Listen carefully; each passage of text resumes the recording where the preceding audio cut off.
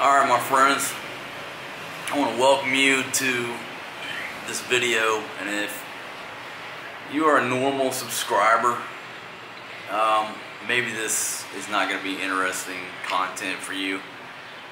Uh, this is kind of travel related because I am in the Philippines, but this is going to be like a long video. Um, partially for me, and partially for anybody who's looking to have a kid in the Philippines, got a kid on the way.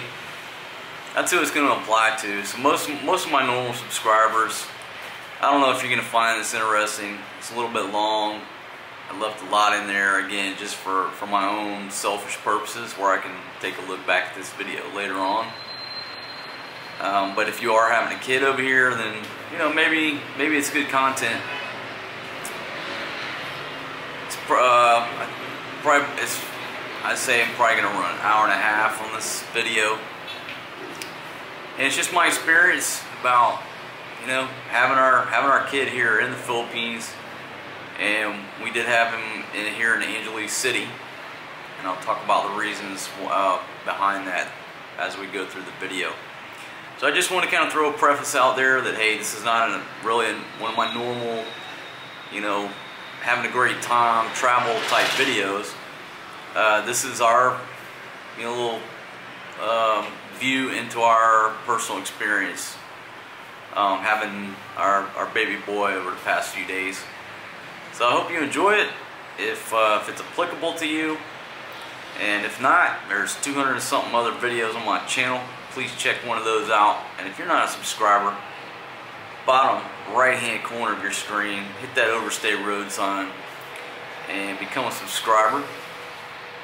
And without further ado, let's jump right into um, what we've got to offer you today about having a kid in the Philippines. Thanks for joining me. Alright folks, it's going to be a hotel review. Just joking.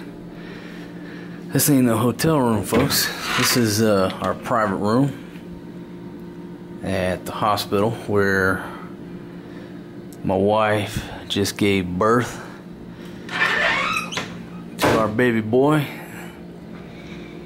So I figured I would show you around the uh, our private room here. And at this particular hospital, uh, this room is 1,800 pesos per night. So you're looking at $36 a night, roughly. Less than 40 bucks a night. And I just point out the amenities here. You got a telephone right there. I'm not sure if it does calls out or just in house. Got the old nurse's call button you know, just a regular hospital bed.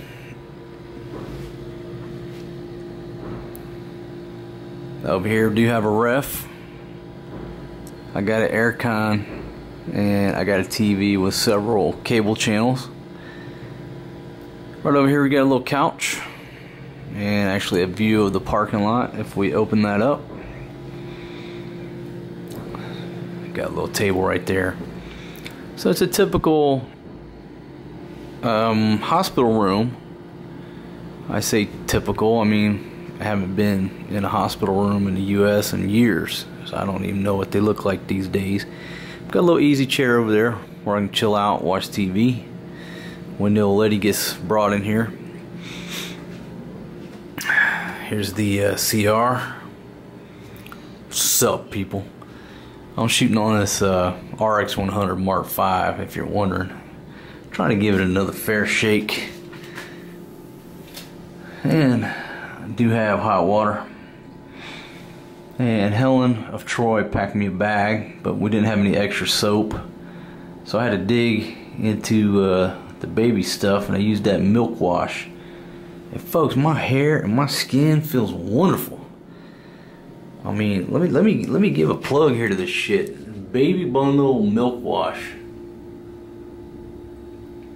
And I hope that shit's for your skin and not clothes, but whatever it is, That shit has me feeling fresh, soft, and crisp. So there you go. There's there's a look around. Now this building here was uh, I think it's been around since 1990, and a lot of you know the condition of the building sort of reflects it. But they are doing renovations, and it was kind of funny because when I did the admission paperwork for my wife, they made you basically sign a form that said you know, we understand the hotel, or not the hotel, the hospital is under renovation. And you may hear hammering, drilling, sawing, you know, be aware. We're, we're renovating the place and people are working. And you do. But, folks, this hospital here, even though the building might be a little dated, when you peel back the layers and you get into places like the ultrasound uh, room or you go to uh, the nursery over here with the babies all right once once once you walk through the halls of a little bit of a dated building but you peel the layers back you got professionals up in there you got professionals with uh, modern equipment and once you get in there and see what they're you know what what the uh, the people and the actual equipment behind the medical treatment, um, I had confidence. But if you just walk into this older building, you're looking around, you're like, man, I don't know about this. But then once you realize, hey, man, they got, they got, uh, they got professional staff. They do have, uh, you know, at least in the ultrasound room, you know, brand new equipment. You know, when you when you step when you stepped into the healthcare aspect of it, shit, it was like I was back in the States. And they're renovating the building. So, overall, this is AUF Medical Center, um, Angeles University Foundation Medical Center. Um, I would say it's a, you know, it's not a expensive top of the line where you know, the rich go to type hospital. I think it's uh, like an upper middle class, middle class, upper middle class type hospital. Is definitely a lot better than most of the hospitals I've been in. And that's why I chose the place. And so overall, my experience here Okay, overall, my experience here has been positive. Um, you know, every hospital you go to in every country, things are done a little bit different. You'll be like, why do they do things like that? Well, hey, it's different countries, different cultures, different, just different way of doing things. But, um, you know, I base things off of uh, the overall experience. And so far, folks, I've had a great experience um, here at AUF uh, with the staff, with the level of care, uh, the cost. And I'm going to set my camera up on a tripod here, kick back in this easy chair. I'm going to talk about, uh, just talk about some of the prices and talk about, you know, my experience about having a child in the Philippines. Because uh, a lot of people ask me about it. And right now I got nothing but time. I was watching a Transformers movie, but it went off. So uh, I was like, you know what? Let me get this camera out and talk to it. What a great time for a video. Right, give me a sec. I'm gonna put this thing on a tripod kick back in that easy chair right there. And let's get it on. Alright, my friends. Sitting here in a little private hospital room right here in this easy chair and it's comfortable I'm gonna tell you I got a little stool out here I just showed you this so much is comfortable the aircon over there is cold as hell you can hang icicles up in this fucking room right now which it's okay because I got a little Hello Kitty blanket here at a bar from the, from the ladies and tonight has been a junk food night due to the circumstances. But I was in 7-Eleven down there. There's actually a 7-Eleven in in this hospital. You know, 7-Eleven is over in this region everywhere. They're just a way of life. All right, so so a lot of the female viewers have asked me about, you know, hey, what's it like to have a baby in the Philippines? So let me start out back when uh, try to pop the plastic off this uh, T right here.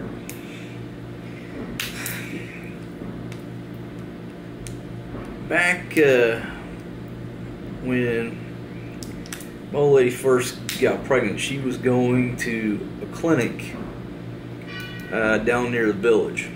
Now, in the Philippines, you have hospitals like anywhere else in the world.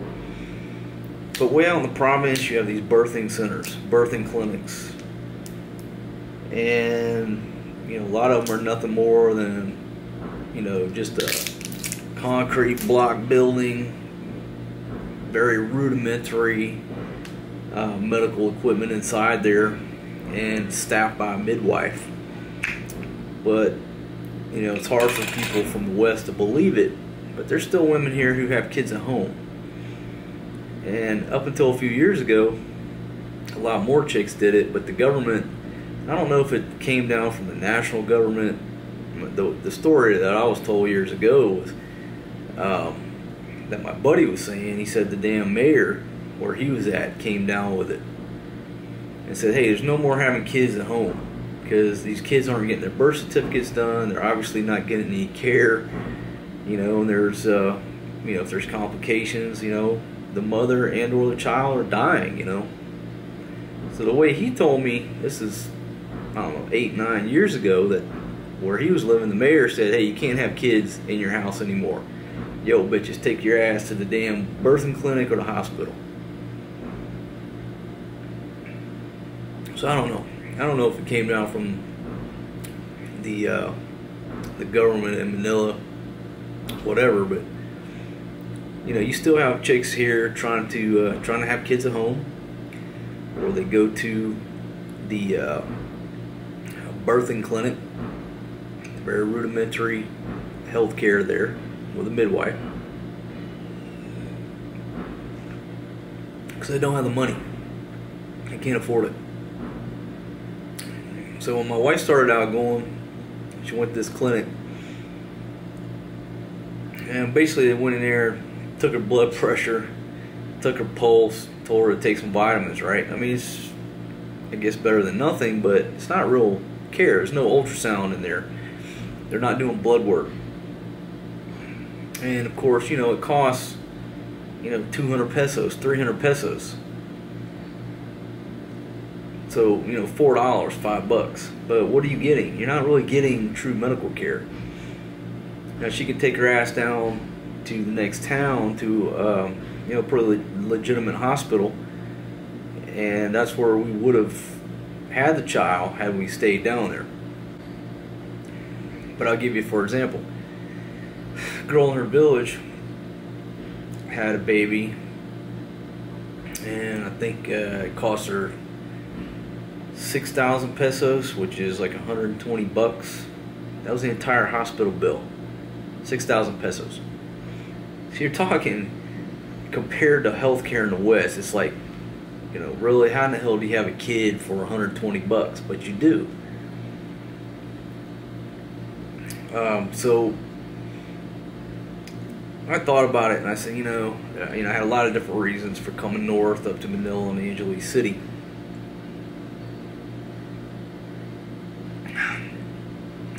And actually me and my wife were over in Thailand, you know, and she was doing prenatal care for a couple months over there in Thailand. You know, Thailand, the medical care, especially at the hospital we go to over there, is legit.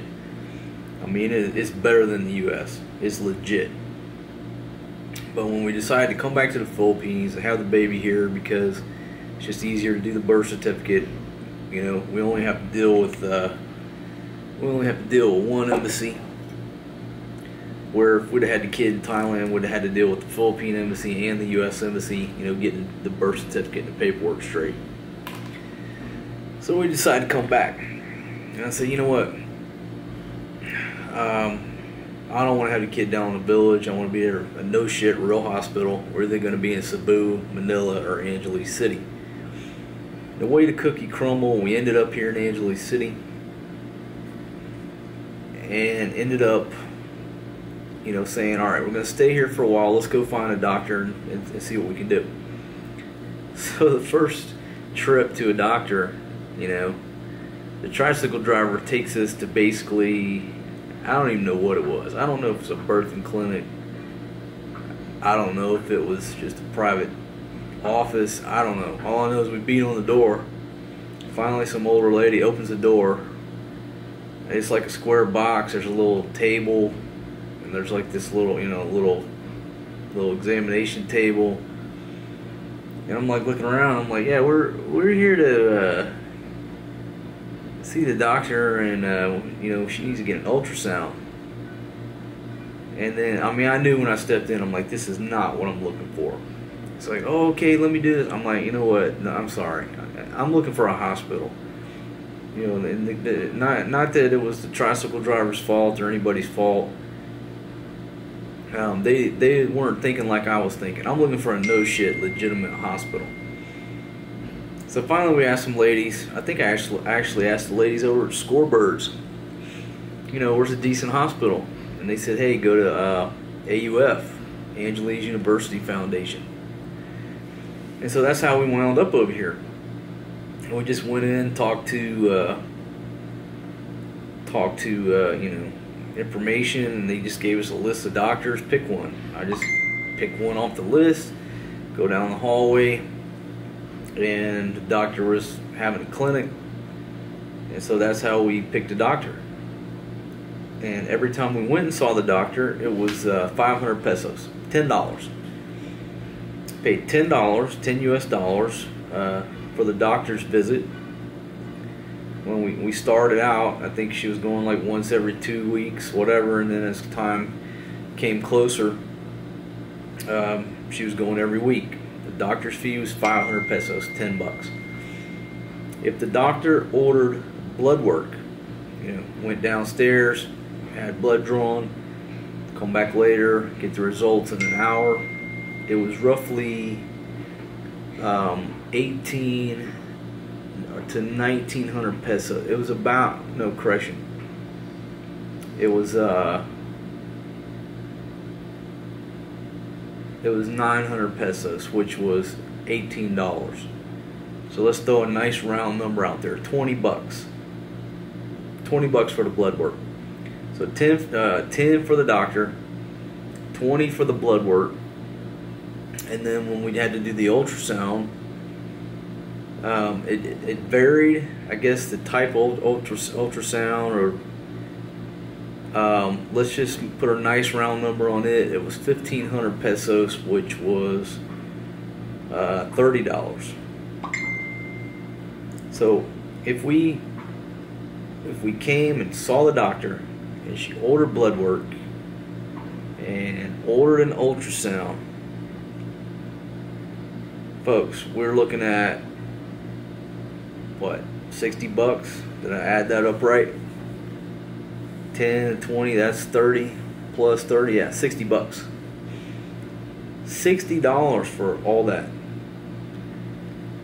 you can't beat that and the ultrasound i mean it's like i said it's equivalent to in the west folks are professional new equipment okay they've got a professional lab uh, doing the same blood work you do in the us so 60 bucks you know, when we first started, we weren't coming every week. And as it got closer every week, 60 bucks a week. And that was, uh, that's really the prices. Now,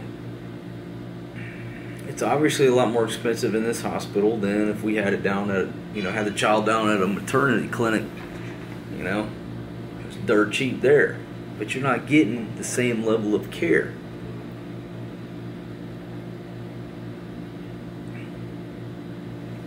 I'm gonna check my phone. I'm telling a long story to tell you what I'm doing sitting in this chair. So uh, that's my buddy. I hit him up a minute. As it gets time, know, throughout her pregnancy, especially when she got to this doctor, it's a female doctor, uh, and she told her, she said, "Look, you're a little bit big. Looks like you're eating too much. You cut down on the rice. You know, cut down on this. No sweets. No no sugary drinks." But my wife is stubborn. She's stubborn, and her pregnancy, you know, obviously she's hungry. You know, got a just a, a hunger all the time as this pregnancy progressed, and so the doctor would preach to her, I would preach to her, and then finally she just said, I don't care what anybody says, I'm hungry, I'm gonna eat what I wanna eat. And she would just go to town. Go to Mang Inasal every day, get unlimited rice, get three orders of rice. Didn't stop by Jelly Jollibee, get a goddamn mango pie. Couldn't stop her. It's always hungry, always eating. Well, guess what? You know, she's a tiny girl. It's like five foot three, 100, what, 90, 90, 95 pounds before she got pregnant. She's a small girl. So, you know, the past few weeks we've been coming every week, and they they told her, you know, the baby looks a little big. Now, when you say big, what the girl was telling me is the average Filipino baby is like two, two point something kilos, right? You're looking at like less than a six pound baby, five and a half pound, six pound baby. And she said, you know, the U.S. average, you know, is eight pounds, eight and a half pound babies, whatever. So I think due to a combination of the fact, number one, I'm American, even though I'm a small guy. You know, due to my genes and due to my wife eating every damn thing that she saw, uh, the baby was, uh, we, it, it was getting too big. So we came in today, and this this is what happened today. Today's Saturday, uh, January nineteenth. Text the doctor this morning, get an appointment, and it's her due date. But what we figured was we were going to come in, get a quick appointment, and she's going to say, hey, you know, if you don't have the baby by, say, next Tuesday, and then, you know, you got to come in and get admitted. So we we had all our bags packed. A bag for my old lady, a bag for the baby, a bag for my daughter, a bag for me. We had these bags already, you know, sitting by the door. So if she went into labor, we're very well prepared, had all the documents together. But today we thought we were going to come do a quick checkup. And we had just planned on doing this quick checkup, listen to the doctor tell us, hey, you know, got to have it by next week, or, or we're going to either induce or do a C-section. So we just thought we were going to stop in, and we planned on going out to eat Mexican tonight. So really, the whole time, all I was thinking about was what I'm going to order. You know, this dude told me, uh, you know, go check out Iguana's Mexican restaurant. Right, it's right up the road, walking distance from my condo. So I was excited about going and trying out some new Mexican food. I've been talking about it all day. We get here, and the doctor, first thing she does is order an ultrasound. Go to the ultrasound, they're like, you know, by estimation, you know, the child is a he's full term, maybe a day overdue, and he's eight and a half to eight and three quarter pounds. Like holy shit. So once they reported that to the doctor, the doctor's like, you know, we're we're leaning towards uh, an immediate C-section. We're like, what? So you know, she came in, evaluated it, and that's what she ordered. We're doing a C-section right now. Lottie Dottie, everybody get ready. I mean, you barely had a few minutes just to give her a hug and uh, you know say we'll see you on when you get out. So they took her back, and of course I had my daughter. I had Helen of Troy here. Well, I figured it was going to be three or four hours by the time they get it prepped and get it done. So I told I I was waiting to talk to the doctor, and I said, "Look, I'm going to run home. I'll be back in about one hour. I got to get all the baby stuff. And is there anything else you need from me?" She's like, "No, you don't. You you can't. Don't go anywhere. We're taking her back right now. We're doing this right now. You need to stay." And I was like, well, that's only, you know, I, I just got to run over there and get everything. We don't have anything here. We didn't plan on coming here and having the kid tonight. And she's like, well, that's too bad. Just you just stand by. So I was like, all right, I'll wait. So meanwhile, I go and the ladies in the nursery are like, hey, where's the baby's clothes, the diapers, you know, everything? And I'm like, look, it's at the house. You know, but the doctor told me to stay, stay put. And she's like, well, as soon as you can, we need that because when the baby comes, you know, you have to provide all that. And I said, no problem. We got everything lined up. I just got to go get it. So I told Helen Troy, I said, look, saddle up, take the baby home, pack that bag, send it back on a tricycle. So we got a couple of trusted tricycle drivers on speed dial. So she called this guy up. He's the nicest dude. I'd put his number out there, but shit, he'd, he'd be so damn busy. I wouldn't be able to. He wouldn't be able to work for me, so I'm not to do it. We called this gentleman, JoJo, and she said, "JoJo, come pick me up at the hospital." So JoJo zooms over here, and you know, like they'd already taken taken my wife to the back at, the, at this point. JoJo zooms over here, scoops up Helen of Troy, scoops up my daughter, zooms them to the condo. She packs this, uh, she packs a bag. I told her, hey, just put it all in my aviator's kit bag. Great fucking piece of equipment, folks. If you don't have an aviator's kit bag left over, you know, it's a parachute bag, whatever you want to call it. You know, you jump out of a plane with the U.S. military, you pull that aviator's kit bag, and that's what you pack your parachute in, you know, to hump it off the drop zone.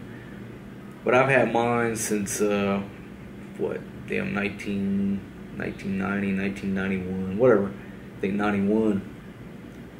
One of the greatest fucking pieces of luggage, luggage, pieces of luggage in history. So I told her, I said, you put all the bags in there, plus some blankets, plus this. Zip that son bitch up, give it to JoJo, tell him bring it back to the hospital. And sure enough, that's what that's what happened. So while I'm waiting on JoJo to get here with the bag, this, this young young kid comes up and says, "Sir, you need to go down to the nursery." I'm like, "Why? I already got all my paperwork done." He's like, "No, the baby's already born." I was like, "What?" I'm, I mean, it was like less than it was like an hour. So I zoomed down there, and sure enough, you know, little whippersnapper is uh, is already out. They said everything's good. We're you know cleaning him up in the bag. Where's his clothes? I said, look, I got my man JoJo and a tricycle zooming it over here. So she said, all right, we're, we're still getting them slicked out. So I ran downstairs, grabbed a kit bag from uh, JoJo, and brought it up.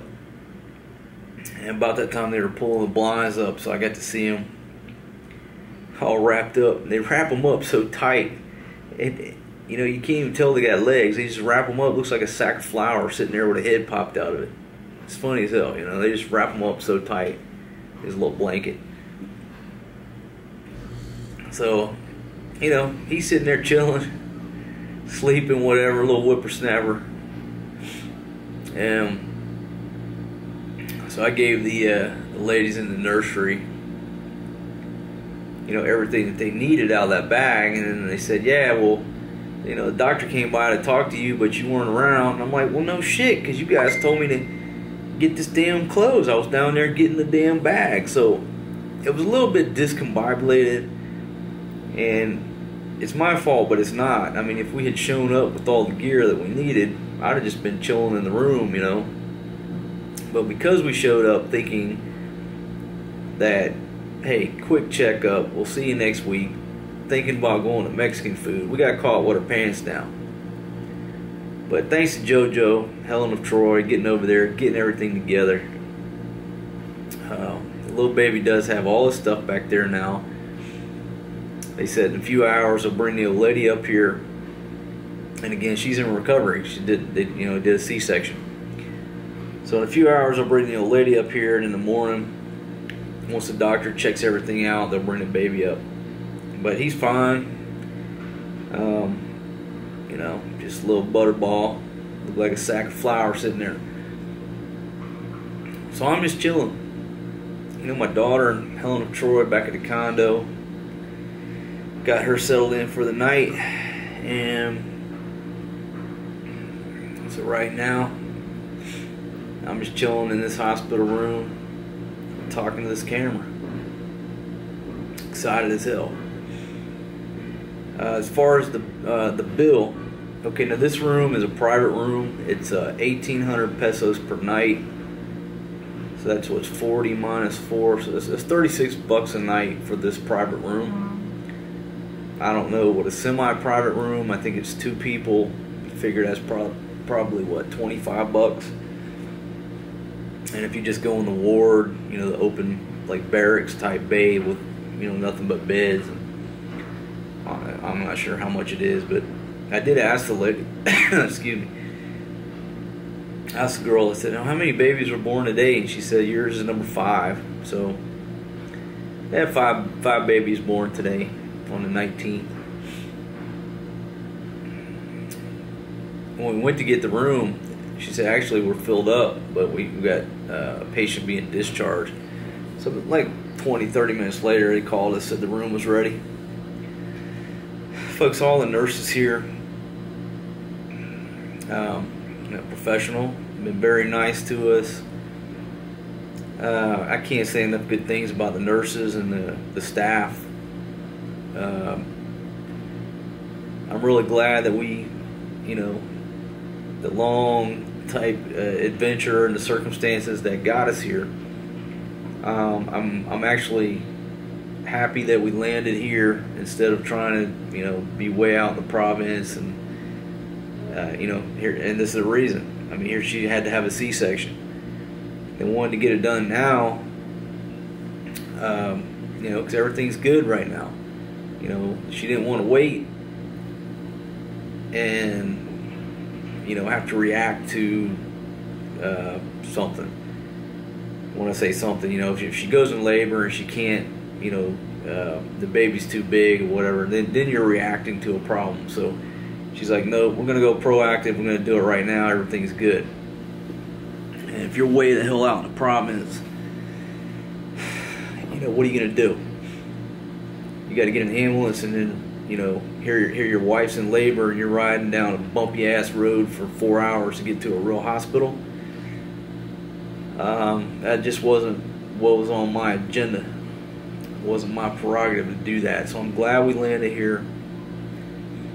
Uh, overall, my experience at AUF has been very positive, and I want to thank all the staff here for taking good care of, uh, of you know, my old lady and the baby, and uh, you know, taking the, the time and the patience to uh, you know, because folks, I'm you know I'm not from here, right? And most of the time they're they're speaking in Tagalog, right? And so here comes a foreigner. Now they gotta they flip over to English. They gotta kind of slow it down because I don't know what the procedure is. Um, you know, just just little things. So everybody here has been uh, very nice to me, very nice to my wife, and I can't thank everybody here enough. So if you're in Angeles City you know, find yourself in uh, same situation, you know, your wife, girlfriend's pregnant. Um, this is a this is a good option. All right, hold on, folks. Low smart.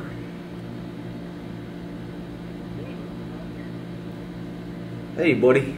How you doing, man? Hold on, let me stop my camera here. Folks, I'll be right back with you.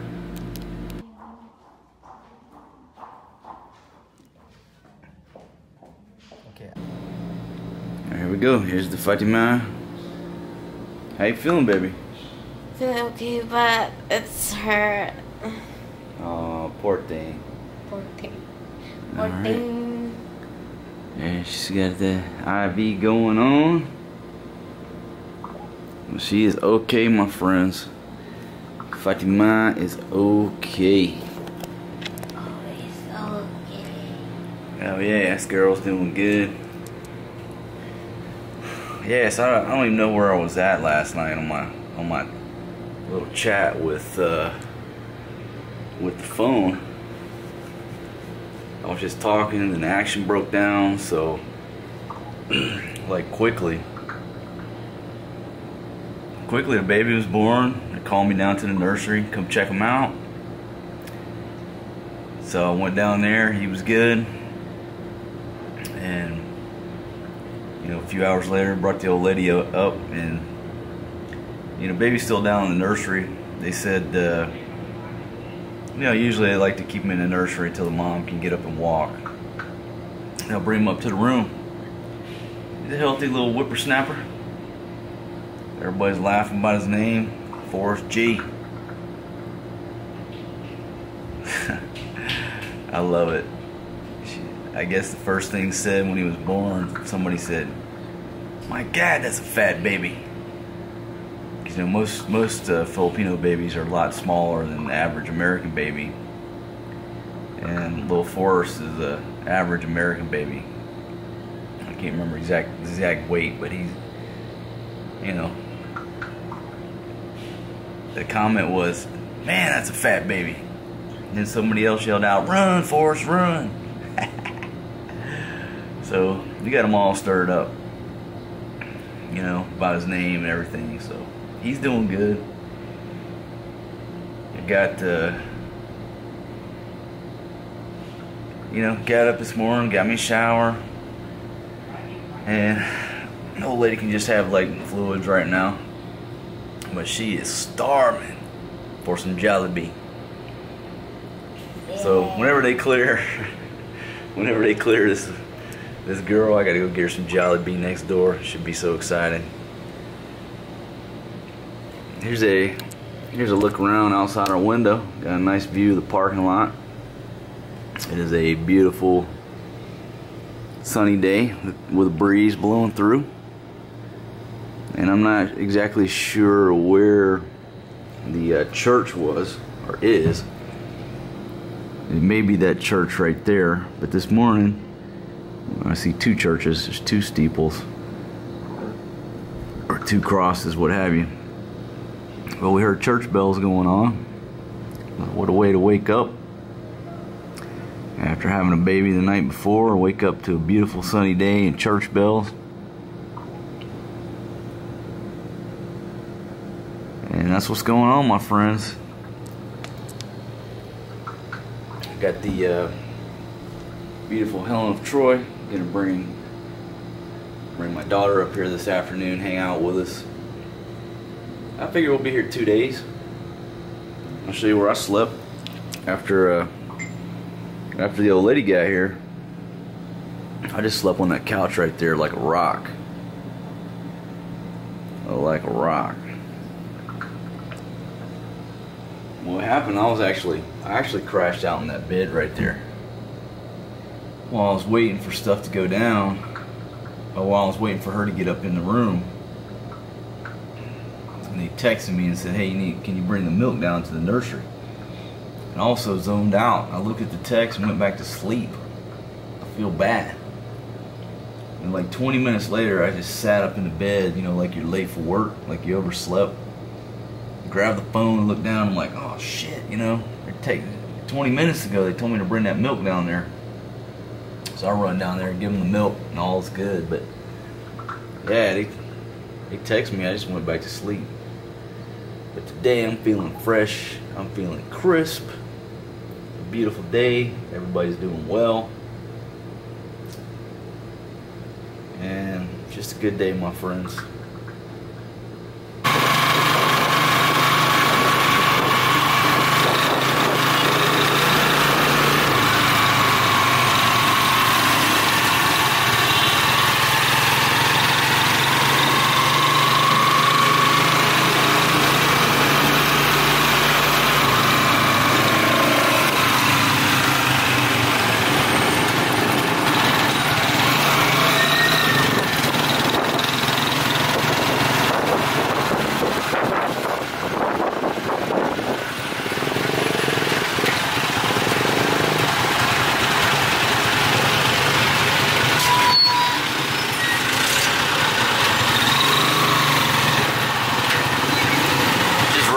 tricycle, my friend, shooting on a Sony RX100 Mark V.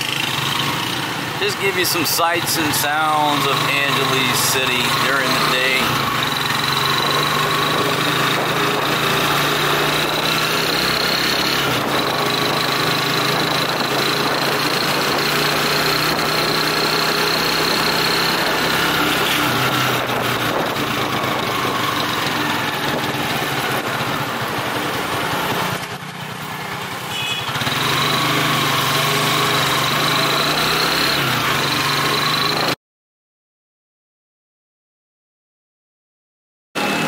Check out that moon, folks.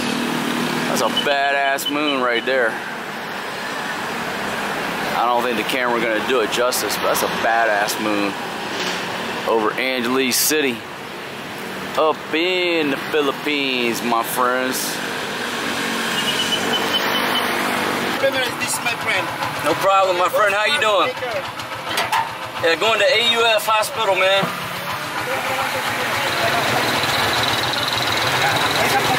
Uh, no problem with this one. We got a door here. I can't. Going to AUF Hospital, Angeles University Foundation Hospital.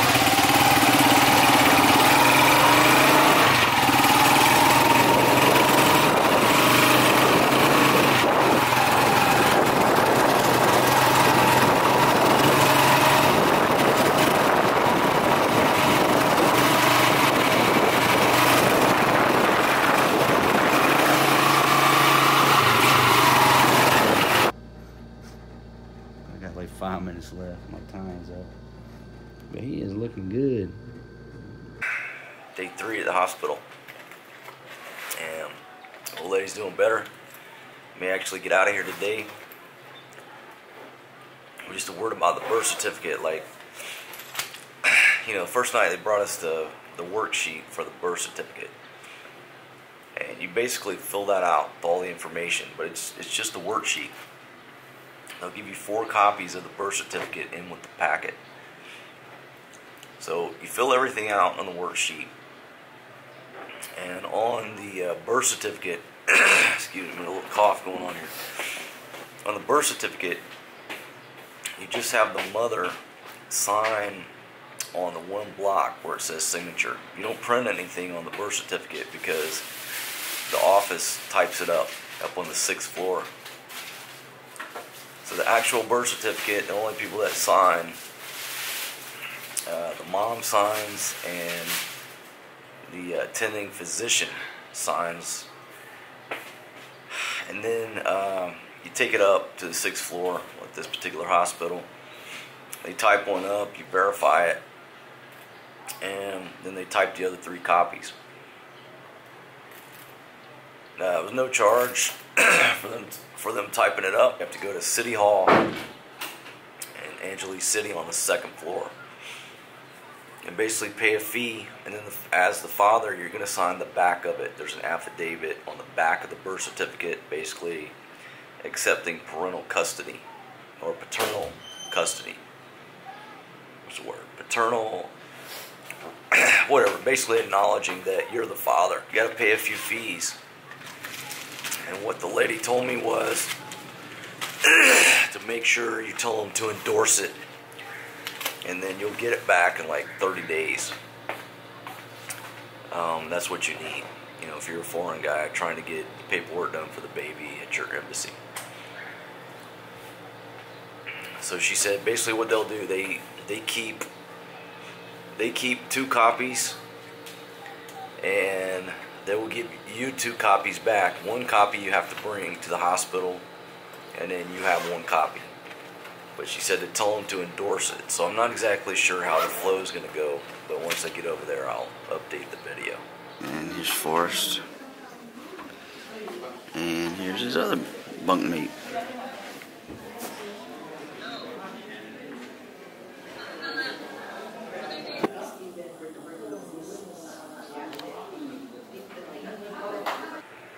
Folks, it's day three here at the hospital, and looks like my wife's going to get discharged today, which is good. Uh, she woke up today feeling much better. She's able to get up on her own, walk around, change her bandage. So she's doing a lot better today on day three. And they've already started, uh, you know, prepping everything to discharge uh, my wife. We have to wait on the pediatrician to verify that the uh, that the baby is okay to leave as well. I guess in some occasions, you know, they'll discharge the patient, but uh, the baby has to stay for a few more days. But it looks like we're going to be good to go. Just waiting on the word from uh, the baby's pediatrician that he's good to be discharged. So it looks like tonight we might be in the condo chilling. and we're looking forward to that because uh, day three, I think we're all bored out of our minds here. We're ready to take the baby and go home. But it's been a pleasant stay. We've got uh, prescriptions from old lady. All I'm waiting on now is uh, the pediatrician and the bill. so, uh, you know, the bill is obviously not going to be anything compared to what we would be facing in America, in the West. But I'm interested to uh, see what the final number is. Go ahead and get that shit cleared out and roll out of here. So I'll update you as soon as we, we figure it out. But uh, I got to go down to the pharmacy, pick up about five or six prescriptions, and just wait on the baby's doctor to uh, give him the all clear. We're ready to take a tricycle, my friends. You know what I mean? Hell yeah, we're taking a little little Forrest home in a tricycle. You're gonna roll strong up in the tricycle. First ride in a vehicle is in a in a tricycle. But uh, yeah. That's what we're waiting on right now. It's a beautiful sunny day. I've been sitting here on this couch just soaking up the rays all day. Actually took a nap with the sun on my face. But three days in the hospital, that's enough. We're bored as shit. We're ready to roll. It's day three. I just went down and cleared the bill on my wife and the baby. Got the release, so I dropped the release off at the nursery. They said, all right, go up, get the mom released, and come down and pick up the baby, get some last minute uh, instructions, and we're gonna be out of here tonight. So I'm excited about that. And uh, clearing the bill, it was an efficient process. Went ahead and just swiped the credit card, credit card machine working, no problem. It did charge me an extra 3% due to uh, paying with a credit card. I'm not angry about that uh, due to the convenience of it. I will talk about the, the costs later on. But what I was telling these ladies right now that I had a, uh, a number in my mind that I had budgeted from the get-go. And uh, actually come in under that budget, what I was expecting. So I'm not the bit uh, shocked, surprised, or upset. I'm actually um, pleased with the bill. And we're cleared out. So in a few minutes here, we are going to be out of this little room that we've been in. And it has served us good. Aviator's kit bag right there, as I was talking about earlier in the video. Best piece of luggage in the world right there. One of the best pieces of U.S. military gear ever designed. That damn thing's over 20 something years old. Well, almost 30 years old. Hell, I don't know, about 30 year old bag. That thing's still kicking. So we're about to say goodbye to this little room. Here's my ladies over here. All right, baby, are you ready to leave the hospital? Yeah. You ready to roll? She's got a nice dress on. She's already started to uh, lose weight in her face, her little chubby cheeks, and starting to look sexy. My goodness, and Helen of Troy looking sexy over there too. They're always sexy. Yeah, she she's always well. Both of them are always sexy, my friends. Okay, ladies, you guys ready to go? Yeah. All right, folks. Next stop, going down to pick up Forrest G. All right, we're going to pick up Forrest G. You excited? All right. All right, there's little Forrest. Ready to go home. You ready to go, buddy? Here he is.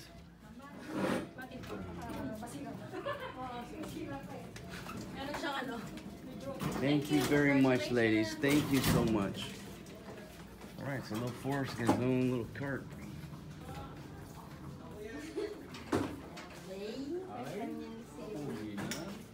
Yay! Forrest, you're leaving the hospital. We're gonna take you home in a tricycle.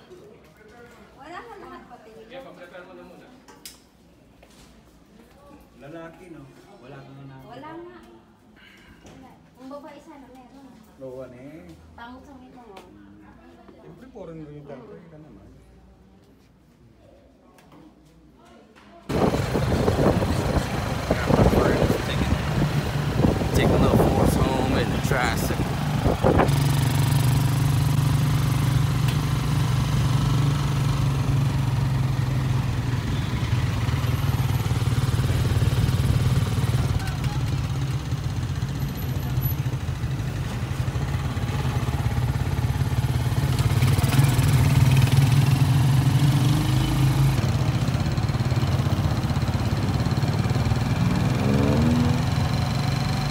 Forrest G home in the tricycle. Asked my lady she want to take a grab or a tricycle. She said want, she want to ride a tricycle. So little Forrest first ride outside the hospital, taking a tricycle from AUF over to Horizon Tower 1. Little Forrest, welcome him into the world. And we are rolling.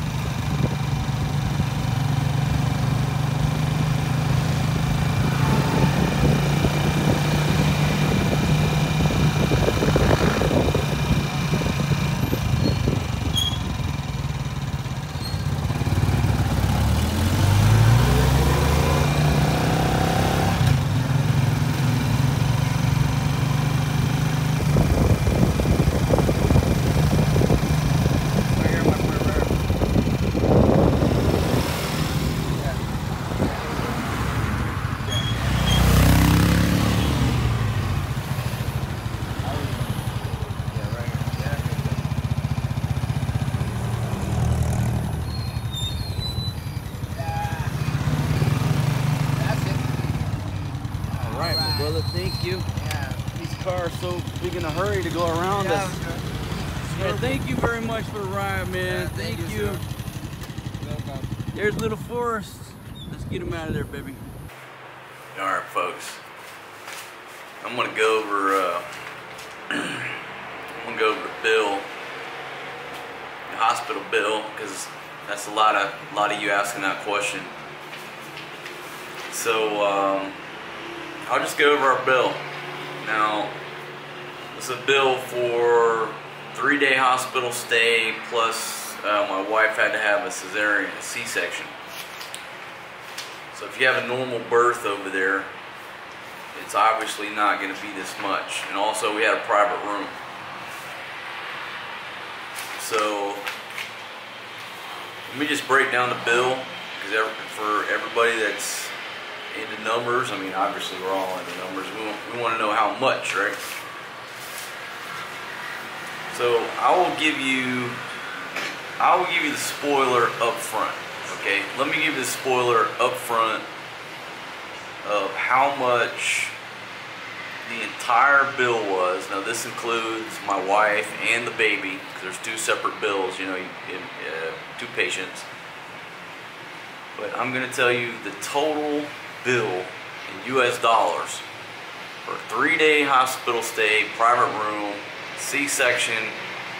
Um, you know, all the physician's fees, the pediatrician's fees, the nursery, the meds, everything that we did inside that hospital, $1,873.34. Okay, just say, just nice round number, 1900 bucks. Okay, so $1,900 out the door. I don't know anybody over there. Um, that's the total amount and I am uh, I'm okay with it. I had budgeted in my mind between 2,500 to 3,000, and I said, you know, you know, uh, real complications maybe 3,500, but I, I had it in my mind. I was looking at 2,500, just based on conversations and a little bit of research. And so when we went down there to pay the bill, and it came in under 1,900, I was I, I was okay with it. So let me just break down a couple of these numbers right quick, and then I'm about to jump off here talk to my mom. I was talking to my mom and fired up this video. And I'm like, why the hell did I fire up this video? I was talking to my mom. So, Mom, I'm sorry. Hold on just a second. Let me get through this. Right now it's quiet. All right. We'll start out with uh, my wife as the patient. Um, it's got on here for the hospital charges, admission fee, doesn't have anything there, but it says Central Supply. That's 2,000 pesos. That's like 40 bucks. Uh, delivery room, Central Services, 1387 pesos. Okay, so we're less than $30. There's some miscellaneous charges, but let's let's talk about the OR charges. The operating room charges were 15,000. Um, that's roughly 300 bucks. So $300 for the OR. The room itself was 5,400. Um, that's roughly what 120, 40, 60, 80, 100. $100, 110 bucks, somewhere in there. The uh, total physician's fees. Now we had four different physicians on here. And so I'm assuming, it, doesn't really list them out, but you've got obviously the obstetrician. I'm sure you have an anesthesiologist, but anyhow, there's four, four doctors listed on here. And that came out to 64,450 pesos. So you're looking at over a thousand dollars on the physician's fees. So the total came out to be for my wife 89,376. All right, 89,376.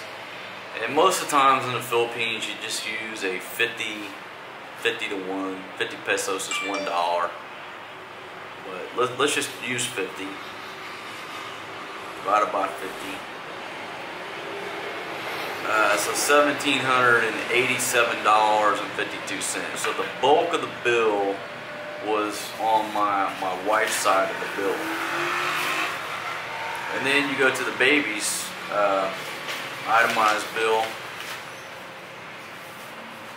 And basically it's nominal fees, but they did charge $70 for the, uh, the laboratory fees. And what the lady told me, she said, look, uh, well, before he was even born, she said, uh, for 3500 they do all the blood tests, the, uh, the immunizations that he has to have, basically the full meal deal of what, you know, you, you do for a newborn baby was 3500 pesos. And she was saying, you know, you can do it with PhilHealth, other places, whatever. I'm like, no, just do it. 3500 that's 70 bucks. So $70 took care of everything that he needed you know, out the door. So his bill was 9428. 0.66, we'll divide that by 50. 188 bucks, so less than 200 on his side. Uh, but nice round number, less than $1,900 out the door. If you factor in the medication that she had to have, she's taking like one, two, three, four meds. So I picked them up at the pharmacy, like a grand total of uh, 600 pesos, 12 bucks. So let's just factor in 20 bucks for the meds, right? So that, that brings it up to a nice round number of $1,900. Somebody's phone's going off over here, fucking up my video. Whose phone is that, baby? Alright, hold on, folks. Hold on. God damn. Oh, shit. Knocking over beer cans. Alright folks, I'm back. Alright, so where the hell was I? $1,900 out the door, C-section, three day stay, private room. I'm satisfied with the care, the competency, the professionalism, the level of care. Um, you know, obviously, like I said, in any country, any different culture you go to, things are done a little bit differently. But you can say that about any hospital from state to state in the U.S. I got no problems. I got a healthy baby. My wife is already up and, uh, you know, jumping around like a bunny rabbit. Um, I got no complaints whatsoever. We do have a follow-up appointment, obviously, next week with the pediatrician and her obstetrician. And looking forward to that. Make sure everything's okay. But there you have it. So 1900 bucks. I like nice round numbers, folks. Let's just say 2000, all right? If we just stayed a couple more nights. Two grand. Two grand out the door. to have a baby in the Philippines at a, a, a very competent hospital. You know, upper, I would say it's, it, I wouldn't say it's a five-star hospital because there are some more expensive hospitals around, you know, that, that cater to, uh, you know, the, uh, the, the richer folks in the world, whether you're local or foreign, whatever. There are some better hospitals as far as, uh, you know, they're more expensive. What am I trying to say? As far as the accommodation, the building, whatever. But folks, at AUF, Angeles uh, University, was it Angeles University Foundation Medical Center? I, I am uh, very pleased with with the service, uh, the professionalism, and the bill. I got no qualms about the bill.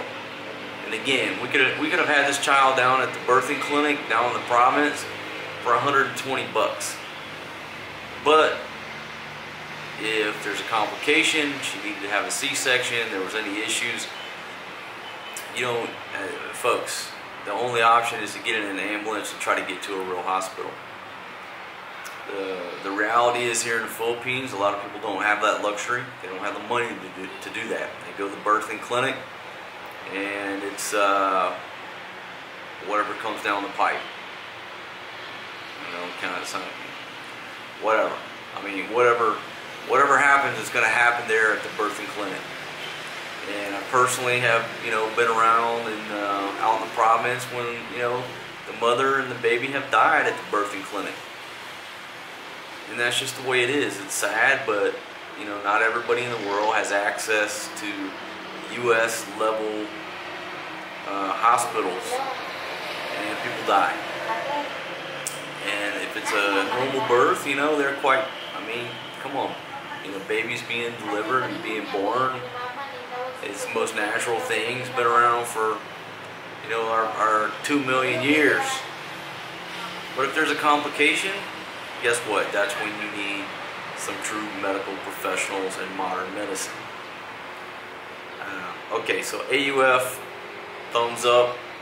If you're here in Angeles City, um, you know, and you want that level of care, I do recommend them if you're if you got 10 million bucks in the bank, well, there's another hospital like right over here on the base somewhere that they somebody said was, you know, higher level of care, higher class, whatever. But uh, if you're just kind of a, you know, average dude like me, I recommend AUF. As a matter of fact, while I was there, I did run into another American guy that was uh, just getting discharged uh, with with his baby. They had been there, I think he said eight days. So I talked to him and uh, had a conversation with him. He seemed to be satisfied with the level of care as well. And had a healthy baby leaving out, going home. And so that's my experience, folks. Uh, let me check my notes here to see if I made any more notes about what I was going to talk about. Okay, oh, PhilHealth. The PhilHealth is like the, the insurance program, the government insurance plan, what have you. And uh, my lady didn't have PhilHealth. Okay, she just didn't go through the process or have the documents that she needed, whatever. But when I talked to the doctor, she's like, "Oh, you need to get PhilHealth, you know, because I'll be able to discount it ten or twenty thousand pesos. Ten thousand is two hundred bucks, so uh, 20000 would be $400. She's like, you know, that's a lot of money, you know, I can discount it. And she's like, you know, you can go over here to Robinson's or wherever it was at, and, you know, you got to stand in line. It's going to take all day. And, folks, I'm not even standing in line all fucking day to save 200 bucks. Yes, I need the money. Yes, I want to save the money. I am not going to stand in a line with 300 people in line all damn day to do it. Alright, my time is worth more than that, believe it or not. And so the doctor or somebody said, well, just find a person with a senior citizen's card. Because if they have a senior citizen's card, they just walk to the front of the line. So you can like sign an affidavit, let them handle your paperwork, and they can go up there and submit it. They don't gotta wait in line. And I'm like, I don't fucking know anybody with a senior citizen's card. What am I gonna do? Walk down the street and try to find an old person? Hey, do you have a senior citizens card. If you do, you want to make five bucks, go take my paperwork. I said, fuck that. I ain't got time for that shit. Yeah, but it's 10,000 pesos. Fuck that. So this bill here was without PhilHealth. This was just straight up paying out of my pocket. And I'm happy with it. And I still, I'm not, I'm not gonna go spend a day of my life standing in line to get PhilHealth to save a few dollars. I'm not gonna do it. So that bill I quoted is without any insurance, without PhilHealth. It's just walk in, pay out of your pocket. All right. But with PhilHealth, he figured it would have been dropped down to about fifteen hundred dollars, U.S. dollars. Um. All right, folks. That's a. That's about all um, I got to say about it. Now, I did have some, conflicting information from the other American dude about the birth certificate because what he told me was after you go to the sixth floor and they type out this birth certificate, he told me that they had to take it to City Hall and basically get it registered and bring back a copy before they would release the child. And I was like, damn, man, that kind of puts us in a bind because my wife had a, a C-section. She's not mobile, not very mobile right now. But that didn't apply to us. Our, I don't know what his situation was or if he just explained it wrong. But our situation, we did not have to do that. Took it to the sixth floor. I got the things typed up. They told me to go to City Hall within 30 days. They said, you have to go to City Hall within 30 days. We got discharged, no problem. So in the next couple days, we will go to City Hall, do the paperwork, and I'll update the video. Okay? All right, so uh, my battery's about to go dead on this RX 100. Don't last very long. So I will stop right now until the next segment of this video about my experience having a baby in the Philippines, my friends. Peace out for now.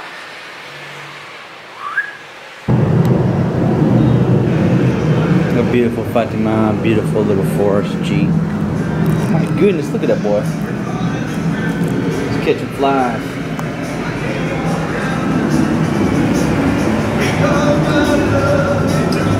Oh, that's so beautiful. Baby?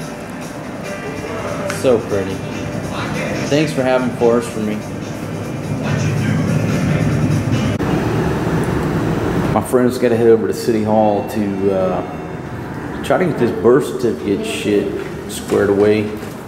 I got the beautiful Helen of Troy, the beautiful Fatima, already starting to go back down to her pre-pregnancy size, looking absolutely beautiful. Little Forrest G's right here, and the beautiful Helen of Troy, and Marquitos the King is on the camera. We're finna take a tricycle and head on over there. God, look at that booty. Whoop, whoop, whoop. Alright, so here we are. Helen. Helen's busy talking on that fucking phone. Guys, stop talking. She's doing chismosa with her family. I got beautiful Fatima right here. My goodness. And my man's getting me a trike, folks. We get a tricycle here.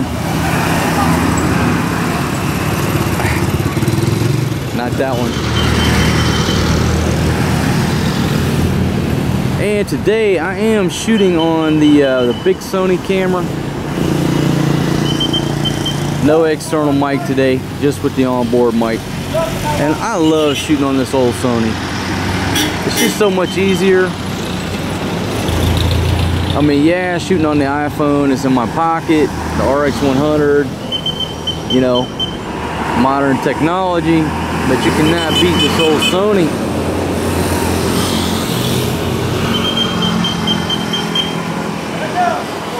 My man right here calling a trike for us.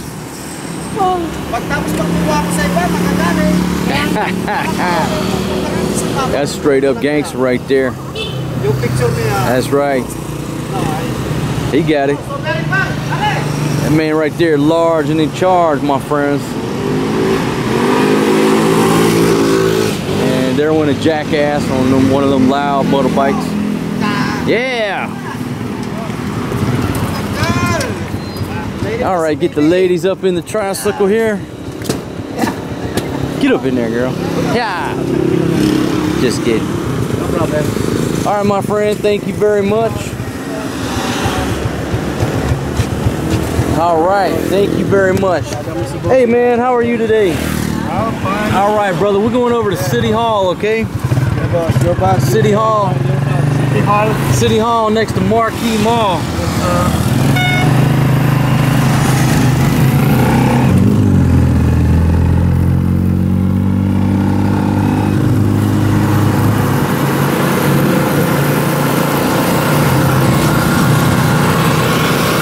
See how this camera does on the tricycle with the wind noise and the uh, shaky conditions. But this camera right here has got great optical image stabilization, especially be a six six year old camera.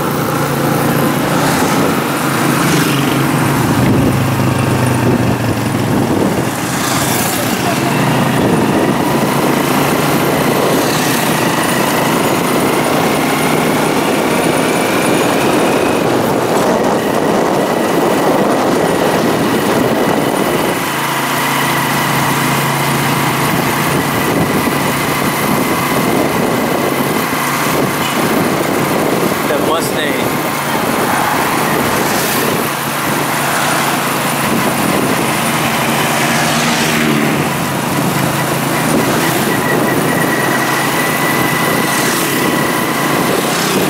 And One thing when I was using my iPhone to film, my iPhone focused in on the guy's mirror, so the whole, the entire trip, the footage was blurred.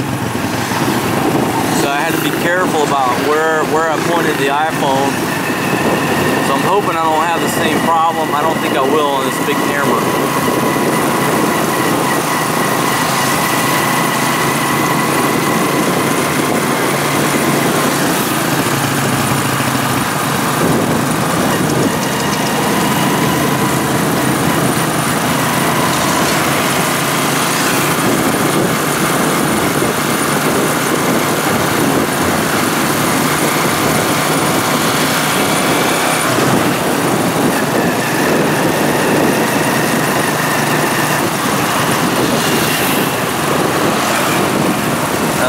I gentleman's driving. Just got a slow roll.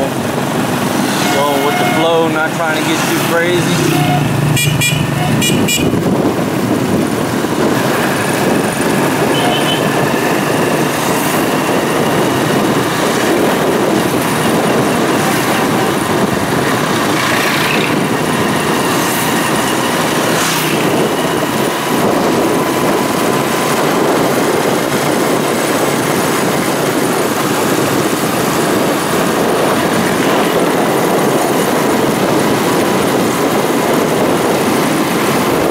I don't know, folks. This wind noise might be messing up the mic. But I think I do have the setting on wind noise reduction. I'm gonna test it out. But again, out of all my cameras, my favorite camera to shoot on is this old Sony camcorder. A lot of vloggers, they don't they don't use camcorders for whatever reason. Right there, CPI call shop But I'm gonna tell you, shooting on a camcorder has the longest battery life, the best image quality, stabilization. It's simple to get it going. My favorite is this old Sony camcorder. It doesn't shoot 4K, but it does shoot uh, 1080, 60 frames. That's what we're shooting right now. So even after six years, it's still relevant technology.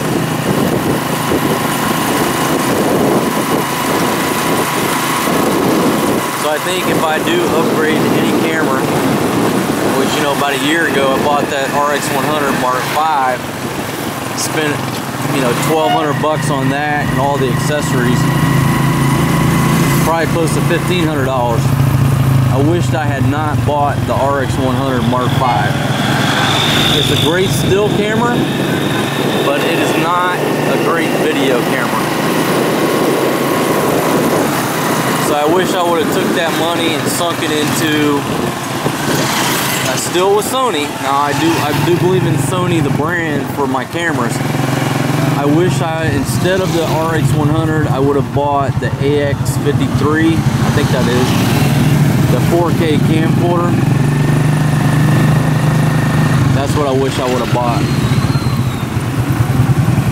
But I did the research, and don't get me wrong, the RX 100 is a great point and shoot pocket camera. It's like having a DSLR in your pocket.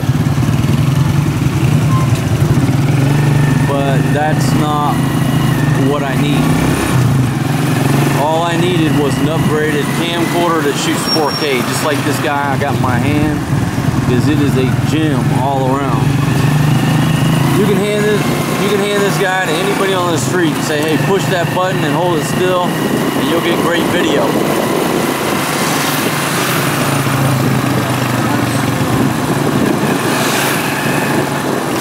add space for lease up there right above that Walking Street sign. I should rent that and put fucking Overstay Road on there for like a month. Alright, so we could have left before Walking Street. Here's a police station right here. Police Station 4.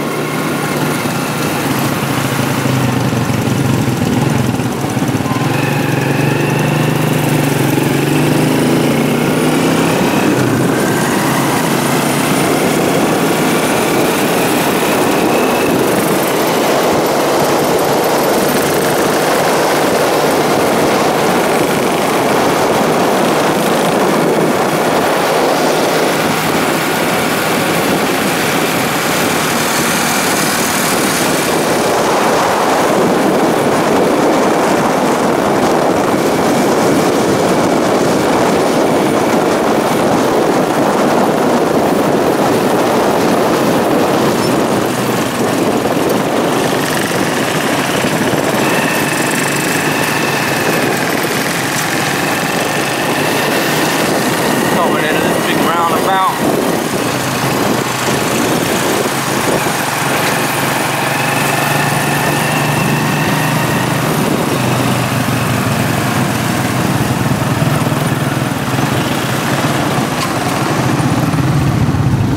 Three hundred and eight days, 21 hours, 59 minutes, 40, 39, 38 seconds. Till what? Is that the New Year countdown? I've had a few drinks this morning. I, I can't do the math. I don't know.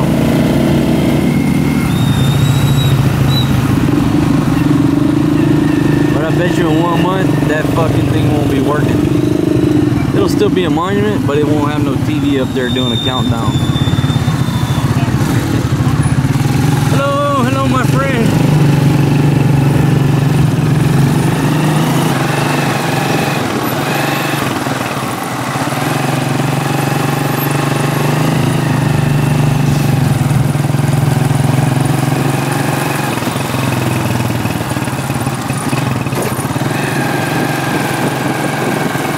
All right, pulling into City Hall, which is right next Marquee Mall. Um, I think this building to the left right here, my friend. I think I think right here, but I'm not sure. I think right here. It don't matter anywhere. I'll have to ask somebody where we're going. Right here's the tricycle parking over here.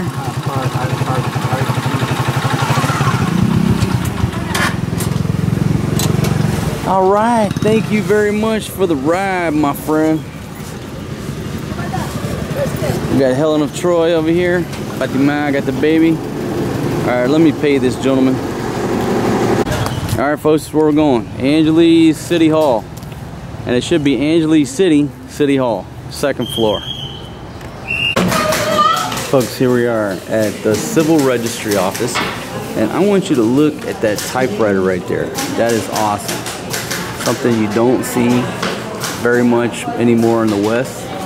But this is the second floor. It's called, uh, what's it called this? Civil Registry, right? Yeah, Yeah, so we're at Civil Registry and we just told her that we needed the birth certificate to be endorsed and we also need some certified copies.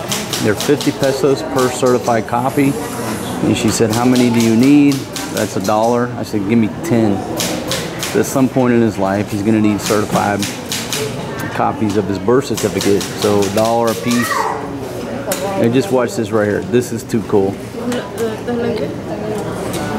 And I don't know what type of typewriter that is or how old that is, but it's got some age on it. And that is too cool. And I don't even need to tell you, this is a beautiful girl right here taking care of us. Absolutely stunning.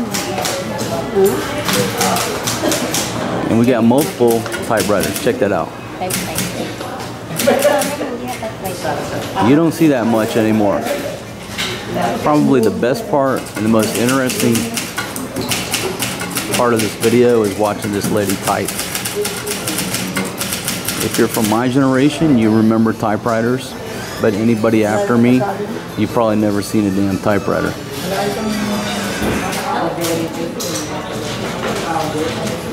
This lady over here's got a typewriter as well.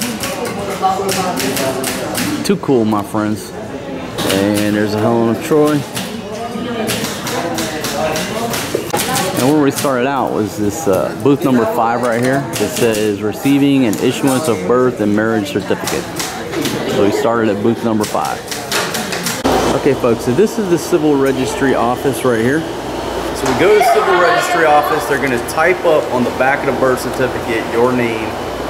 You're gonna make sure everything is straight, you're gonna sign it, and they're gonna give you these three little pieces of paper. They're gonna give you your passport back, they will keep the mother's passport, and then we have to go downstairs and pay these fees.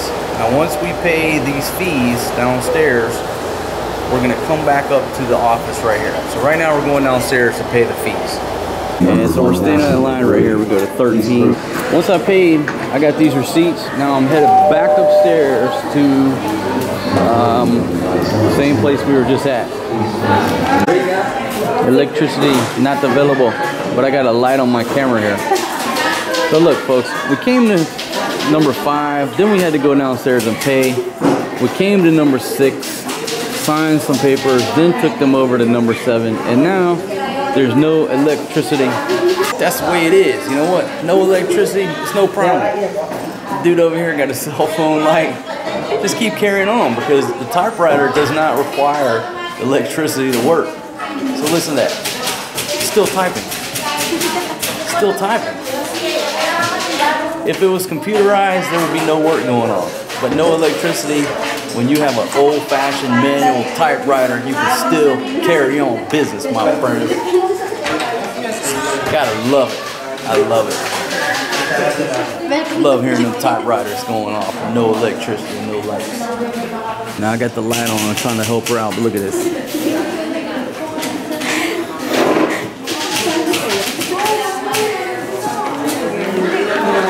That girl's so beautiful. My goodness. Her husband's a lucky man.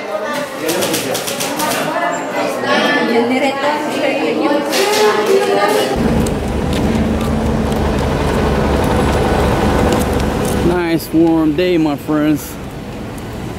Just a look around.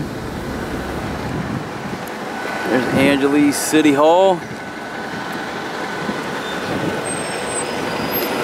Jose P. Rizal.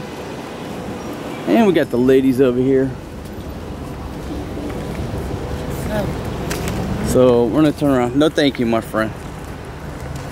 And I'm zoomed in here. Okay, so let me let me say a few words here. If I can get this dude to quit following me, fucking hassling me here.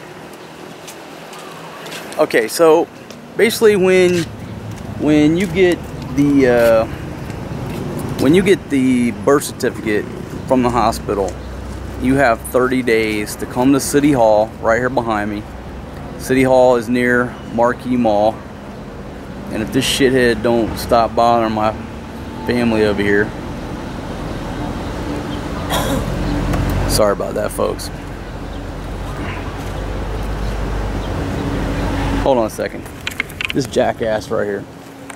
Hold on. I gotta my friend, we don't need your help. I don't know what you need, but just just don't bother my ladies. Thank you.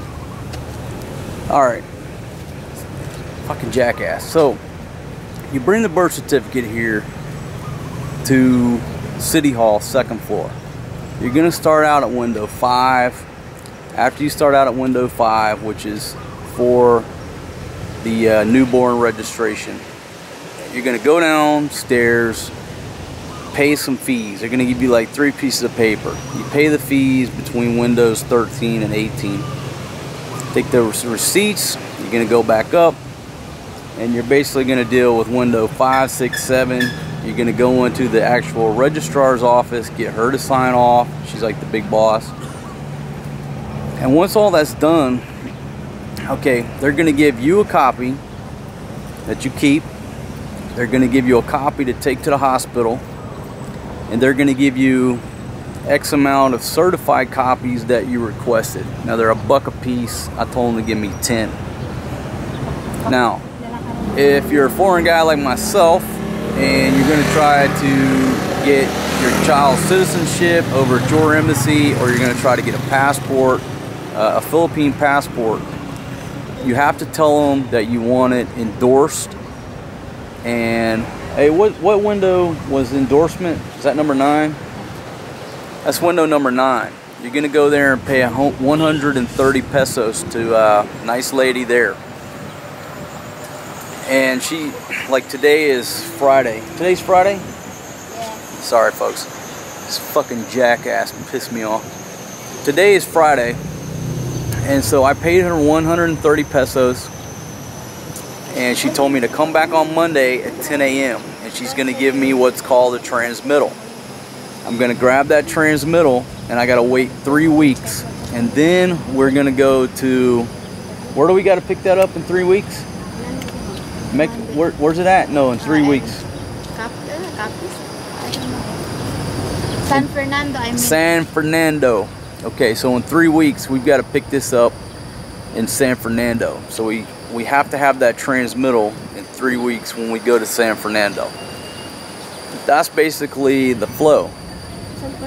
So I got one more one more trip here on Monday to pick up that transmittal. I got to go back to the hospital, drop off that copy of the birth certificate to uh, satisfy their requirements, and you know that's it. So in, in three weeks we should have the the no shit legitimate birth certificate where you can file paperwork at your embassy, my embassy, whatever, and we can also get his birth his uh, passport. And some people just don't fucking take no for an answer, my friends. All right, ladies, let's start walking before I gotta jack this guy. Let's go. Let's go get the tricycle. Some people just don't fucking know when to quit. You deal with shitheads like this in this country all over the place. This young fucking shithead male that just don't know when to leave you the fuck alone. Alone. Welcome to the Philippines. All right, ladies. And when you when you get look get shitheads like that around you, watch your watch your fucking purse, watch your bag, watch your wallet. They got nothing to fucking lose. All right, getting the tricycle, folks. Time for some lunch. Thanks for joining me. All right, folks. Just want to do a uh, this quick update on the paperwork for the birth certificate. So we went back to City Hall today, picked up uh, the documents. Basically, confirms that we transmitted the birth certificate over to uh, call PSO Philippine Statistic Office in San Fernando. So we're we we're pretty much we met all the requirements at City Hall. And three weeks, we just take that piece of paper, go to the office over there, and pick up the uh, the no shit, real you know certified whatever uh, blessed off on birth certificate. And then we took one copy back to the hospital. So we've satisfied the hospital's requirement to, uh, as well. So right now it's just a, it's a waiting game. Three weeks, go pick that up. and uh, he's good to go. And let's see, what else I to say? Oh, the wife was supposed to have an appointment today. But what you'll figure out here is like, there's not really an appointment system. There is, but there's not. At least with her doctor, what happens is you just call. They'll say, "Hey, come on Monday." And then Monday morning you call, and the assistant will say, "Come between nine and four, whatever." But a lot of times when you call, there's no clinic. They, they, they say, "Okay, we have clinic today, or we don't have clinic today." So we're supposed to go take her for a checkup today, but you call the doctor and then, ah, there's no clinic today, try tomorrow. And you face that a lot here, at least in our experience you have. You think you're going to go Monday morning at 9? No. You might go Monday at 2 p.m. Or there may not be no clinic on Monday and you got to come back on Tuesday or Wednesday for the clinic. It's part of it, folks. You got to roll with it, embrace it, have patience, and there's no harm, no foul. So we go back to the hospital tomorrow, try to get her an appointment, and take it from there. And it might be the same way with the with the baby's appointment on Wednesday. You know, you call in the morning and find out if there's a clinic. In other words, if the doctor is going to be there in his office. All right, folks. So I think I'm going to call this pretty good on this video. It's long enough. A little bit of insight into having a kid in the Philippines. Overall, pleasant experience. Price is right. Everybody's okay. Life is good, my friends. I can't complain. So thanks for joining me. Thanks for being a subscriber. And if you are not a subscriber, the uh, bottom right hand corner of your screen, like right there, somewhere right, right there, little white overstay road sign, or it could be green if I change it. But anyhow, overstay road sign right there. Go ahead and click that, become a subscriber, and I certainly appreciate it. Folks, one more tidbit of info I want to include on this video. And I'm sitting here right now rocking little Forrest G, chilling. He's chilling. One more, one more thing I want to talk about, right? In the Philippines, and you need to know this, if you're a foreign guy, and again, I hate the word foreign. If you are not from the Philippines, if you've spent a lot of time here, you already know what I'm about to say. And I'm sure you have your own stories that you can include down in the comments where other people can learn. Folks, there are so many superstitions and beliefs in the Philippines. I've been coming here for years. Every time I go to a new area of the Philippines, I hear new shit. Alright, now, it's no different than where I'm from, uh, from the backwoods of Mississippi, where you have these old wives' tales, or if somebody said something that didn't make no sense, they would preface it by saying, well, the old folks say, you know, the old folks say you're not supposed to, uh, you know, drink milk before you go to bed, or just whatever, you know, all these superstitions and sayings and beliefs. So by no means am I casting stones, so to speak, at the beliefs here in this country. Because if I sat here and told you all the beliefs of my grandparents, even my mother, my great grandparents, you know, because of, well, the old folks say, you'd laugh your ass off, right? But that's not the purpose of the video. The purpose of the video, or this segment of the video, is, is to remind you and let you know that there are so many superstitions here in the Philippines when it comes to either ghosts, goblins, monsters, imaginary monsters. Uh, folks, it's it's just it's very entertaining. I think that's the best way to put it, right? But okay, my wife is from the village, and they have a plethora of these beliefs. And you're not going to convince them that the beliefs are not are, are, are not real. To them it's real. Just like you're not going to convince them that jesus uh, didn't walk on water. Nobody's going to believe that right? So the reason i talk about these beliefs is uh, for example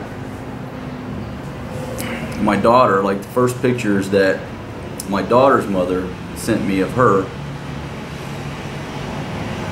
She had this big red thing on her forehead, and I'm like, what happened to her head? And then I started looking closer, and I realized, oh, that's lipstick, right? And they put lipstick on the baby's head when they, they take them outside when they're a baby, so to keep the aswangs away. You know, these these magical creatures, monsters that'll come snatch the baby. You know, and I'm like, get that damn lipstick off her head. Come on. You know, it's a baby. She don't need to have lipstick smeared all over her forehead. But she did. And every time she went out, you know, she's not doing it now, but I don't know like the age cutoff, how many months. You got to stop putting lipstick on the baby's head. Hey, uh, Fatima, can you explain why we put lipstick on the baby's head? Huh? Is it because of the aswang? Now see, she don't want to talk about it, right? They believe this stuff, but if you ask them about it, or you know, press them on why they believe it, they, they don't want to talk about it. They just they believe it, don't talk about it. It scares the shit out of them. So you have all these beliefs. Like my buddy's wife wore garlic around her waist 24 hours a day. And I forget the name of that. Hey, what, what's the name of that garlic when you wear garlic around your waist? She didn't want to talk about it. Anyhow, my buddy's wife wore garlic around her waist, even in the shower.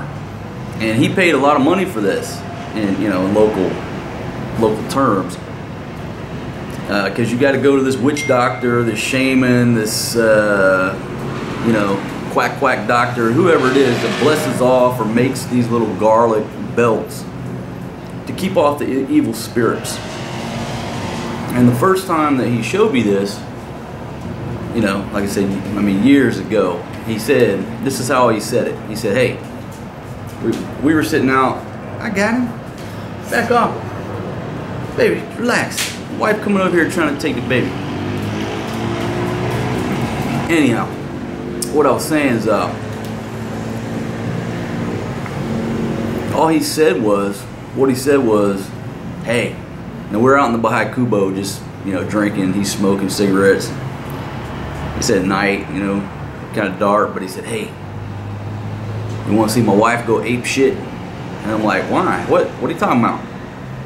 He's like, watch this. He's like, hey, honey, come here. Give me a hug. And she come over there and he gave her a hug and then he grabbed something on her belt, you know, under her t-shirt. I didn't know what the hell was going on. And he grabbed it and tried to pull on it. Next thing you know, that girl just started fighting him. I mean, she wasn't playing. He was playing and laughing and she was fighting him to get away. And, you know, a little excursion that lasted like four or five seconds, you know, and he let her go and he's laughing and she started laughing. But I said, what the hell's going what's what what'd you do? You tickling her? He's like, no, I was trying to get her little garlic thing. And then he said, come here, you know, come here. I'm not gonna mess with you. And she showed it to me, whatever, and explained that you know she wears that garlic around her waist 24/7. It don't come off. It never has since he met the woman. The only time it came off was to put a new, new and improved version. And she believes that. And to them, it's real. So you have to understand the superstitions.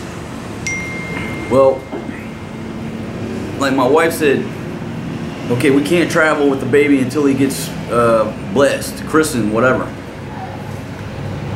And I'm like, well, if you want to have the baby christened down in the village, but we're up here in Angeles City, then how the hell are we going to get from Angeles City to the village? If he's going to get christened in the village, how can he travel? So, folks, these, these are quagmires that, you know, uh, guys like us from the West, we're, we're just trying to talk business, logistics, and numbers. How am I getting from Angeles to the village? I'm looking at flights, I'm looking at the ferry schedules. And my wife is trying to figure out how we're going to get him there because he's not blessed and he can't travel. Okay, welcome to the Philippines. All right, so the big long drawn out stories here um, especially if you got a girl from way back in the province they have a lot of superstitions and it's going to apply to the baby so what happened is the, the baby's pediatrician came into the room uh, when we were we were getting discharged, you know, out of the hospital. And I guess the guy's probably late 20s. Um, I don't think he's 30 years old. I'd say the, the doctor's like maybe 28, maybe 30. Nice guy. And he comes in very soft spoken. And, you know, is giving us the, you know, telling us a little bit about what to do, when to come see him, whatever. And then he says, listen, he says, you know, I know, look at my beautiful wife in the background. Now, she knows she don't want to be on YouTube because she's got her hair up like that. But they, her and my girlfriend, I can be sitting here on this video, shooting this YouTube video, and they'll walk by naked in the background. Not once think that this is a YouTube video and if they're in the background naked and I have to edit that out. And I told them, you know, from now on I'm not editing shit. If you walk through the background naked, it's going on YouTube. I mean, come on, I got the camera here, I'm talking to it, there's a good chance that I'm shooting a video, right? Gotta love them. Anyhow, the doctor says, uh, he looks at my wife and he says, listen, you know, you know there's a lot of superstition here in the Philippines, but let's not let's not let the babies care be affected by the superstitions, okay? And I'm like really appreciative that the guy said that because they're not going to listen to me, but they will listen to a doctor. So the doctor basically put the smackdown on, on Fatima and Helen of Troy about don't be doing none of this superstitious shit. You know, don't be writing lipstick on the baby's forehead. It's not good for her skin. Don't be doing all this stuff, all right? And I'm sitting there, hey man, preach on to these ladies, and they're sitting over there like, like what the hell is this guy? Oh, hell no, they didn't want to listen to him. They're like, what? We got to put lipstick on the baby's forehead if he goes out. So I was very appreciative of the pediatrician you know, to preach to these ladies and say, look, you know, we know you have these beliefs and these superstitions, but let's not let's not do that shit to the baby. All right, let's not let's not go that route. So that's kind of this little block uh, to go in the video just to talk about that. I know a lot of my viewers are here from the Philippines. Well, they live you live in the Philippines. So if you could weigh in down below in the comments, I mean, ask your wife, ask your Filipino and say, hey, what are the superstitions, especially when it comes to newborn babies? And leave her information and her beliefs down there because if some guy is coming here to, to the Philippines, he's new, whatever, he can read this stuff and, and get a little bit better understanding of their perspective and what you know what the beliefs are and the customs and the traditions so yeah, you know, just be aware of this, and you know, most of it I don't have an issue with. But little things like smearing lipstick all over the baby's forehead, we're not doing that shit. All right. Um, come on, putting lipstick all over your newborn's forehead is not good for their skin. Uh, you, you're not going to convince me it is. There's no need for that. All right, let's let's come up with an alternative plan where you know, we're not putting this fucking lipstick on my baby's forehead. We're not doing that. Now, if it if it's something like, oh, well, we, we can't go out on Wednesdays because it's an unlucky day, you know, something like that, whatever, okay, fine. Maybe we can go on a Thursday. I'll try to bend to the culture. Unless it's going to affect the baby's health, and then, uh, no, we're not, we're not doing that. And if, if our logistics require that we get on a ferry and go down to Cebu before the baby is christened, I can't help it. It's your belief that he needs to be christened. You want to do it in the village. Okay, I will get us to the village. But don't sit there and look at me like, well, we can't travel because he's not christened. Come on, it's a chicken before the egg. What are we going to do? So that's just a, folks, just a little tidbit and I would really like to uh, see what other people have to say down in the comments. I could basically write a whole book, and I may actually start a blog post on my website, and I think I'm going to call it, you know, things that my Filipinos believe. And as I hear something new, I'll just write a new paragraph about it, and I'll just keep adding to it. And I guarantee you, within a year, there'll probably be four or five hundred beliefs on there. I mean, you just hear a new one every day. You know, they don't drink. Um, my Filipinos don't drink cold water. They guess it got to be room temperature. Why don't? Well, you know, why don't? Why don't you drink cold water? Oh, to give you gas. What? Room temperature water is fine, but cold water is going to give you gas. Things like that. But if they've been told this by their mother, father, their grandparents their whole life, you're not going to change their beliefs. Um, just like I'm not going to sit here and change your beliefs that you've been told your entire life. And it can be something about religion. I'm not going to change your mind. Okay, that takes a lot of time. And some people, they never change their mind because they've been conditioned to believe that since birth. And to admit that that's wrong, they would have to acknowledge that their mother, father, grandparents were wrong as well. Nobody's willing to admit that. It could be something like Republicans or Democrats in the U.S., right? If, if your parents and grandparents are Republicans, well then you're, by God, you're a Republican and the Democrats are wrong. And you don't even know why. If, if your family's Democrat, well the Republicans are evil. It's all about how you've been conditioned. You have no idea what the hell really is going on. Most folks don't. Anyhow, back to the, the baby video. Superstitions, a lot of them. Southeast Asia, especially in the Philippines.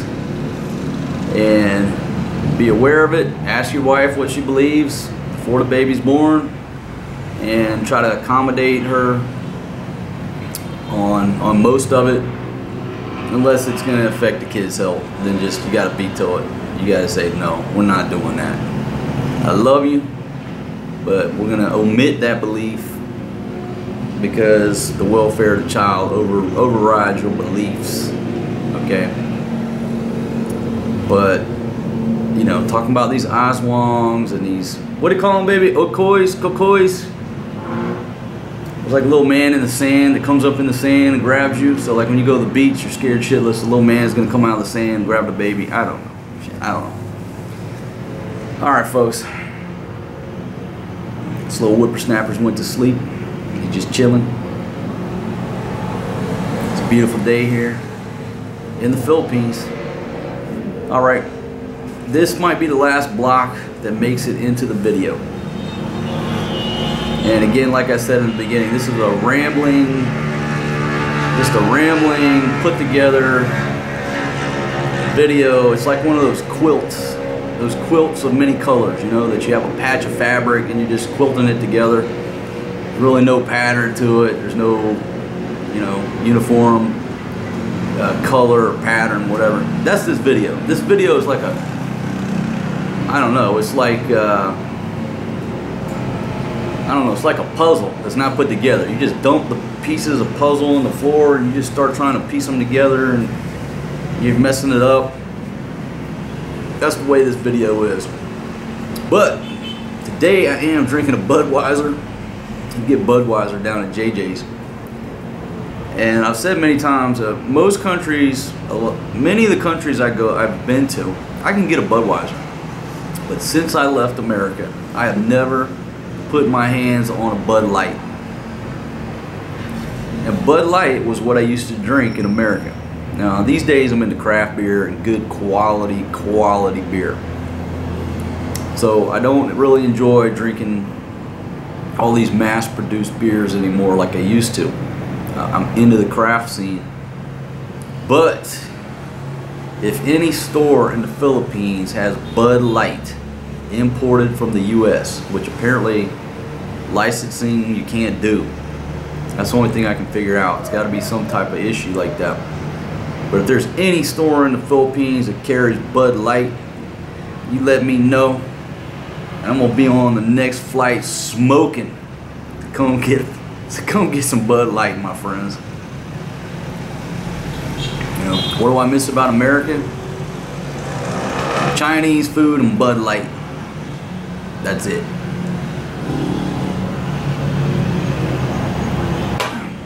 I miss some General Tso's chicken, greasy egg rolls, some of that hot and sour soup, crab rangoon.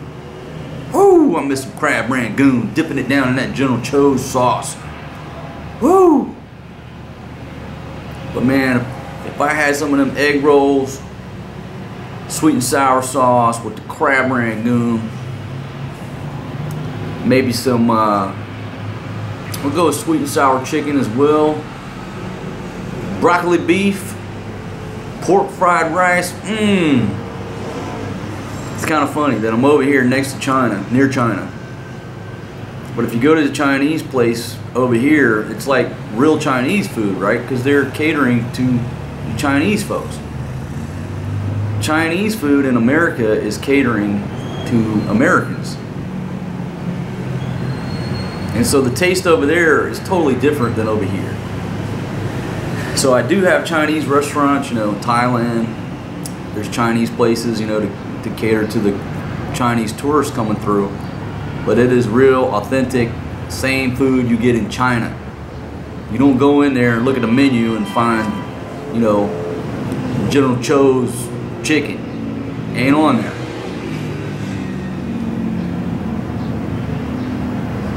I don't even know why I started talking about that. Oh, I'm drinking this Budweiser. Yeah, Bud Light and Americanized Chinese food. I do miss that. All